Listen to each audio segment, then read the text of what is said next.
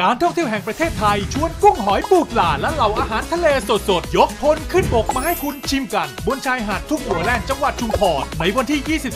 22-23 และ